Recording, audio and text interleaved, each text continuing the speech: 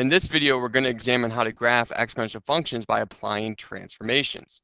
And so we see here our general setup for transformations of an exponential function. f of x equals a times b to the x minus h plus k. h is still horizontal, k is still vertical. a is still your orientation and your shape. If you have an h value that is positive, which means you're going to have b to the x minus h. Remember when it deals with h, it's the opposite of what you see because the formula has a minus sign in it. If it's b to the x minus h, that means you're going to be going right h units. If it's b to the x plus h, that means your h is negative and you're going to go left h units. If you have a plus k, you're going to go up k units. If you have a minus k, you're going to go down k units. And then if your a is negative, it's reflected over the x-axis. If the size of a is large, it's going to be compressed. If it's going to between 0 and 1, it's going to be expanded. So let's apply this to graph the following. We have y equals 3 to the x minus 2 we want to graph this and we want to state the domain and range. So when graphing this, we're going to create a table of values as we did before. This time I'm using from negative 3 to positive 2. If I take a look, I see my base is 3. That tells me I am dealing with exponential growth. And what we're going to do is we're going to just analyze what our translation would be.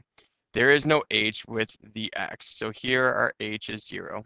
Remember your b is 3. There's no there's nothing in front of the 3, no numbers, so a is 1.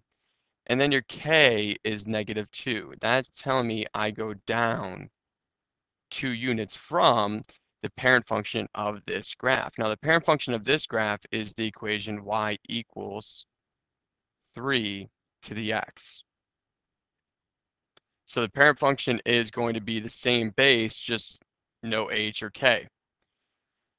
So if I take a look, I can graph this original one to see what my transformation would be. If I plug in, and I'm going to graph y equals 3 to the x, 0 for x, I'm going to get 3 to the 0, which is 1. So 0, 1 is a point. 3 to the first power is 3. If I plug in an x value of 2, 3 squared is going to be 9. If I were to then do, you know, 3 to the negative first, be 1, neg uh, be 1 third, then 1 ninth, 1, 1 over 81, we start to see our exponential growth. Remember, it's going to approach the x-axis. It's not going to cross it. And then we're going to curve up and hit all of my points. This is what our parent function looks like. It's important to notice this because all my transformation says I do is I take each of these points and I go down two units. And so really, if I were just to take a look at my graph, and I'm just going to drag it, and we're going to actually plot the points, but I want you to see what the transformation is, I would actually take my graph, and I am going to go down one, two units. And this is what my graph would look like. And so that's how transformations work. But when it comes to this, let's just be able to identify our transformations as we have. And then let's be able to just go to our graphing calculator, input it, and get our table of values.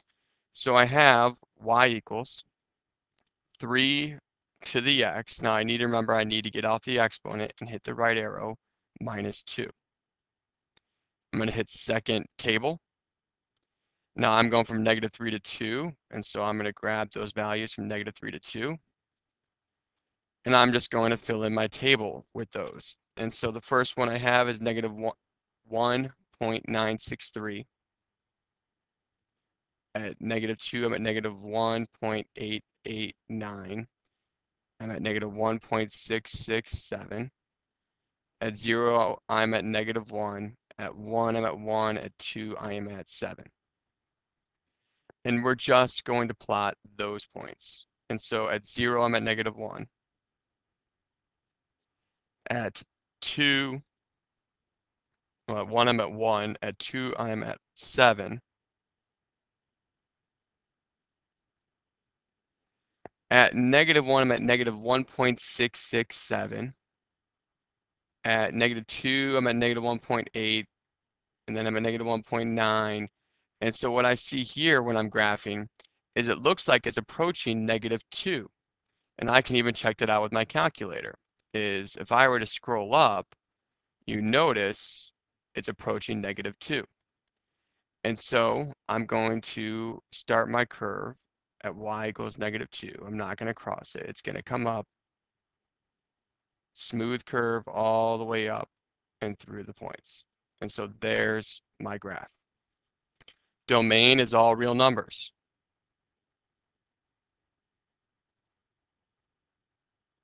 This time your range, we took our graph down two units. This is why we need to be able to understand our transformations. We're not going to use them to graph visually, but we're going to use them to assist us with our range. Since we went down two units, we no longer had to be greater than zero, we have to be greater than negative two, because the parent function, remember, is y is greater than zero, but we went down two units, so now we're at y is greater than negative two. Let's look at example number three. And so here we have y equals 2 to the x minus 1.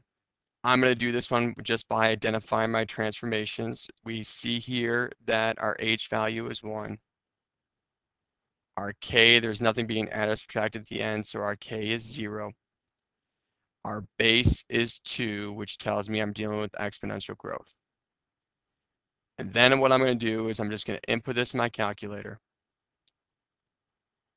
and look at the table of values you have 2 to the x, and the minus 1 is in the exponent as well, x minus 1 power. And then I'm going to grab my table of values, second graph.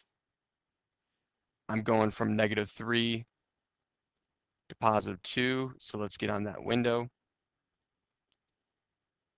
So I can see all my negative 3 and positive 2, x values, grab it, and then I'm just going to copy it down.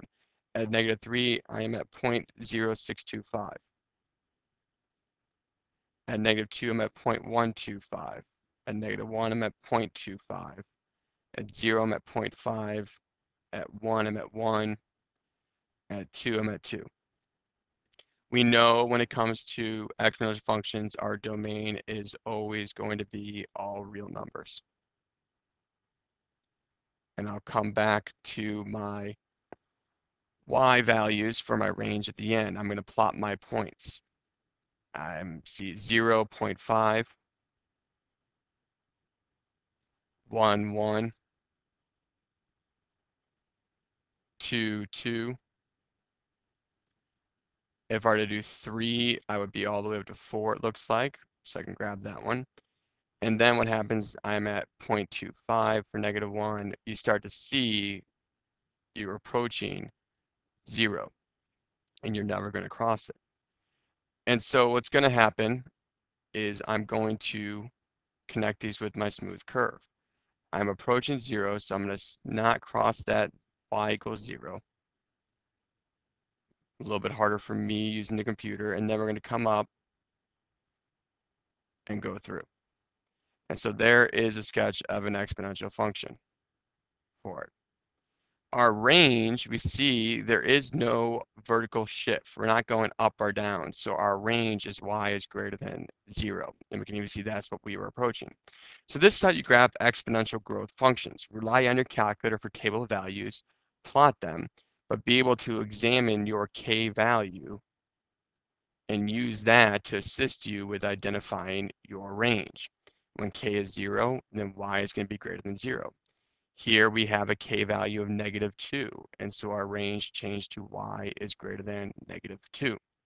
And so this is how you graph exponential functions by identifying their transformations using a calculator to get a table values and then plotting the points.